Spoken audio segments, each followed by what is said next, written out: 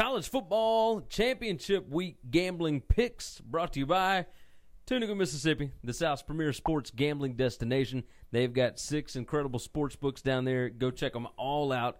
Hollywood Casino, Sam's Town, First Jackpot, Fitz Casino, uh, Horseshoe, and Gold Strike. I was about to say Horse Strike. that would not have been correct. Not you correct. can find more information, including all the correct names, over at tunicatravel.com. So go check that thing out. Also, go over to winningcureseverything.com. We've got our football picks contest up there. We're going to keep this thing rolling through the NFL season, through bowl season, through everything else. So go put your picks in. Pick 10 games against the spread. You can win some pretty awesome prizes from Tunica, Mississippi. Last week, Bruce C. from Decatur, Alabama, went 7 and 3. He won the tiebreaker. He won a $100 gift certificate to Twain's Steakhouse and a $50 slot play to Sam's Town. That's what I'm talking about. Now, as always, we've had some people talking yak in the comments. You can come on the show with us.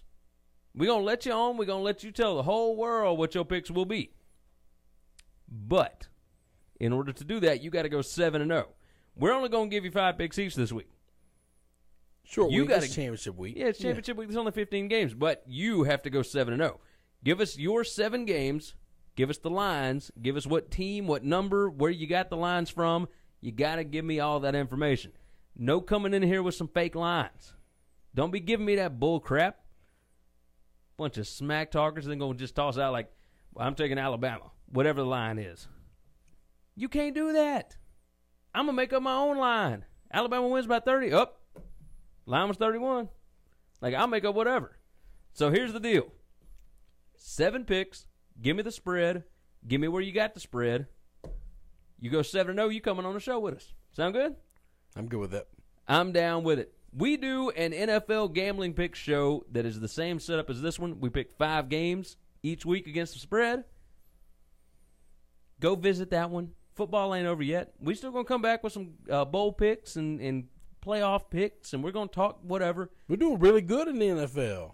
Chris is picking at a 62% clip right now. Come on now. 35 and 22, is that right? Yeah. Yeah, It's pretty good. Pretty good. So go check out the NFL gambling picks page or uh, uh, post or Four, video, four whatever. last week, you know. Yeah, four and one Just last a, week. Just a regular old week. Now last week I went four and three in college football picks. That's right. You went three and four. That's right. I'm 46, 42 and three on the year.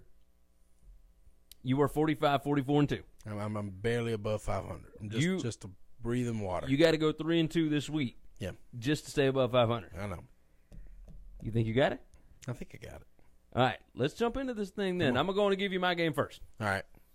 Northwestern plus 14 and a half against Ohio State. Look, Northwestern is 11 2 and 1 against the spread since 2014 as an underdog.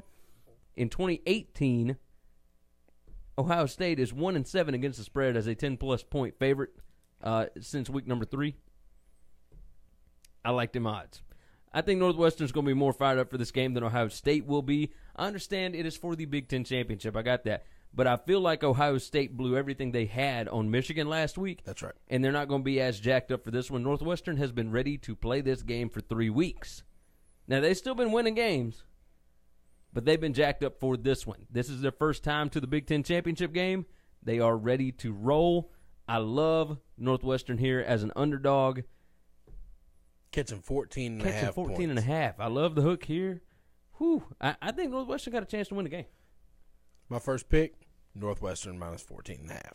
Or plus 14 and a half. I was about to say, good Lord, where'd you get that line from? Listen, listen, Ohio State needs to blow out Northwestern. They they really need to do that. yeah. But what they need to do and what they can or will do are two different things. Okay. Pat Fitzgerald's going to have his guys ready for this game. I, I I like Northwestern to be a live dog to win this thing. Ohio State, other than against Michigan, which is just pure hatred and, and just fury and wrath and rage and, and, and desperation, they have not looked good at all. I, I don't understand. Not to mention the fact that uh, Urban owns a little bit of space in uh, in Harbaugh's head. I think. Yeah, I mean that's. I mean, like I said, I don't think he a- owns space in, in Fitzgerald's head. No, no. Northwestern has everything to win and nothing to lose in this game. They have known they were going to play in this game for three weeks. I believe that this will be a pro Northwestern crowd. Their fans have been buying up hotel rooms for the last three weeks, getting every ticket they can get for the last three weeks. Ohio State found out two days ago they were going to play in this game. Yeah. That's it. They they couldn't look ahead. They couldn't buy tickets early. What happens if Michigan wins? Now they got to go either sell these tickets to Michigan fans. They don't want to do that, or go down there and watch it. They don't want to do that. So so I I, I just think this is a is going to be very much set up for Northwestern to play well here. I definitely think they're a live dog to win. I agree. Game number two for me Memphis plus three and a half at UCF. This game was already played once this year. UCF won 31 to 30 in the Liberty Bowl in Memphis, but that game had massive Memphis turnovers. It was played in the rain. Uh, UCF squeaked by. Squeaked by. Memphis probably should have won the game. They were up 30 to 14 at one point. Uh, just a whole lot of things had to go wrong for UCF to win, right? This go round, there's no McKenzie Milton. That that's a big, big deal, right? Well, yeah, So- that guy's a great college football player. Yes, I mean a Uh, great college and, and, football player. And Darriel Mack may be great, but I think this might be a little early and too big of a spot for him, even at home. UCF number 109 in the country against the run. Memphis is the number five rushing team in the country. They are number three in yards per carry this year. I'm telling you, Memphis is better in the trenches on both sides of the line than UCF is this season. They are going to be ready for this. And Memphis players and coaches and fans hate UCF. They they feel like they should have been UCF, right? Like how did UCF go from 0 and 12 to this? And we have been building and building and building this program. They feel like this is theirs. They want this AAC championship. UCF, I, I think obviously it's a championship game. They're going to be feeling the same way. They feel like they should be winning this. Uh, with UCF, it, win or lose, it doesn't matter. I think they're still going to a New Year's Six game. With Memphis, whole different deal. They have not won an outright conference championship since the 70s. I about to say it's been a long time. This is a big, big deal. I got them at plus three and a half. I feel really good about it. I think they are probably going to win the game here, but I do feel better with that three and a hook. My next game, I'm going to the Cal Stanford game. This this is always a big game. This is always a fun game. And this year, I think is Cal's year to win this thing outright. I got Cal plus two and a half. I think they're going to be ready to play in this game. Um, they have they have looked good uh, all season. They've they've played really well in the in the Pac-12. Um, they've hung with some teams that I thought they shouldn't have hung with. They beat some teams that I thought they, they probably should should have lost to, and uh, and Stanford's been down this year. That they're not the juggernaut that Stanford's been in a while, and and so I don't I don't know that any of the previous season's numbers come into effect here because this isn't your normal typical Stanford team, and uh, Cal's at home. I'm I'm taking Cal. Game number three for me, Stanford minus two and a half at Cal. We're going opposite sides on this one, so you got to right. pick whichever one you think is better. Stanford five and one against the spread against Cal the last six years. Stanford is 2-0 and one against the spread as a road favorite this season. The metrics have got Stanford minus six. Look, that Stanford offense is clicking right now. They put up 49 on UCLA last week. I understand Cal and UCLA, two different teams, but Stanford's offense has been rolling. They understand how to beat teams like Cal. They are a team like Cal, only this year they've got their offense rolling. Um, yeah, Stanford's been a little down for Stanford, but this is still a pretty good football team. Uh, both teams are going bowling. Like I, I like Stanford here. Two and a half seems short to me, especially with the metrics saying it should be about a touchdown. Um, yeah, I'm all over Stanford minus two and a half. What uh, what's your game number three? Game number three. I'm taking the Pitt Panthers, and I'm taking all 26 and a half of those points. I'm, I'm that look. That's a lot of points. That's a, it's a lot of points. I know that Clemson doesn't cover these lines very often. They they have been What are they, big, one and big favorites. seven? Yeah, the, the, uh, when it's twenty one. Yeah, one and seven when they're when it's over twenty one point And, favorite. and and uh, look, I don't know that I'm not saying that Pitt is a live dog. I'm not saying Pitt has a chance to win the game, but Pitt can run the football, and if they can run the football a little bit, they can keep the ball away from Clemson just long enough to keep this game lower scoring and and and a little bit closer to the vest than 26 and a half. That's just a lot of points. It's a championship game. Pitt's going to play with some pride and and they're going to they're going to try to believe they can win and be the ACC champions. Um, I, I don't think they really can. I definitely think they can keep it within 26 and a half. I like that. That was good. That's a that I was conviction. Thank you. Uh, game number four for me. Texas plus seven and a half against Oklahoma. Look, Texas seven one and one against the spread as an underdog the last two seasons under Tom Herman. Texas is six and zero against the spread against Oklahoma the last six years, and they got three outright wins, including earlier this season. Remember, Texas was up forty five to twenty four, and took their foot off the gas and started playing prevent defense and all that kind of crap, and let Oklahoma come all the way back on them before they had to kick a game winning field goal. Look, everybody always says that you go with the revenge team, right? You go with the team that lost the first matchup when it's a rematch situation. Just in the Big 12 last year, Oklahoma beat TCU 38 to 20 in Norman in the regular season. That was in November. Then again in December, they played in Jerry World. Oklahoma beat them even worse, 41 to 17. Sometimes it is just a, a nightmare stylistic matchup. And Texas is that for Oklahoma. They play Oklahoma better than anybody. I don't think Oklahoma's going to run over this team. I think seven and a half is crazy. I'm not saying Texas wins the game. I think they got a chance to, but I think this is a close football game because I think Tom Herman and that bunch will be amped up, and I think the lights might be a little too bright for Kyler Murray and that bunch. Uh, they we know they can't stop anybody. No, they can't do that. So can Texas stop them? I think they I think they can a few times. Uh, and if that's the case, I mean a, a touchdown either way wins this for me. Uh, I like Texas plus seven in the hook. Okay, cool, hook them. My next pick, this this might be my last chance to to ride with my guy. He's let me down a lot. He's cost me a lot of money. He's not going to cost me money this week. I'm going with Justin Fuente one more time. Playing against Marshall, Virginia Tech at home, minus four and a half. They got some confidence They- points they- last week, They, didn't ju- they just have to win by a touchdown, and they got to win this game to get to a bowl game. This game matters more to them than it does to Marshall. You cannot lose two games to non-power five teams. And one of them at home. Yeah, so you can't you, you just can't do that. So I, I Vitek, Justin Fuente gonna have the guys ready to play. They got things rolling last week.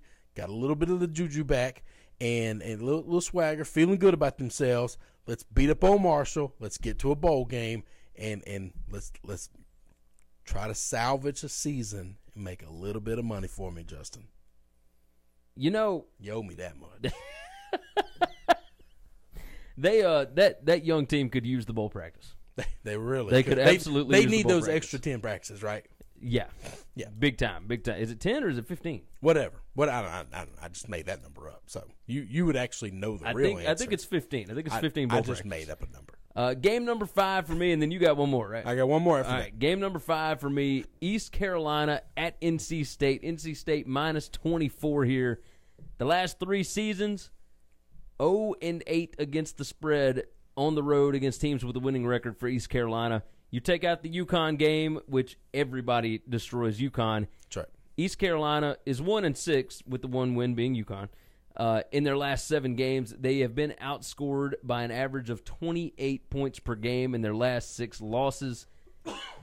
I mean, I'm talking East Carolina is some kind of bad, and I think they've just about given up on the season. In their last game last week against Cincinnati, they lost 56 to six.